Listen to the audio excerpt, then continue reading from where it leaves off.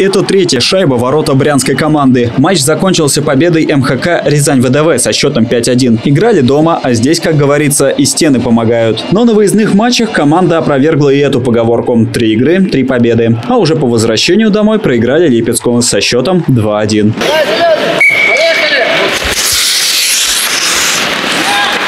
Нашей съемочной группе удалось поприсутствовать на тренировке хоккеистов. Поражение Липецку, говорят ребята, никак на команде не сказалось. Наоборот, как-то еще больше добавило какой-то, не знаю, силу и уверенность. Надо дальше что-то добиваться успеха и выигрывать. Кирилл Затонских, по мнению рязанских болельщиков, стал лучшим игроком января. В этом сезоне он успел сыграть три игры в высшей лиге. По словам тренера, показал себя отлично. Сейчас обороты не сбавляет, наоборот наращивает. Впереди важные игры и серьезные тренировки. Сегодня мы работаем над тактикой, то есть выходы, раскаты, 5-4, большинство, меньшинство.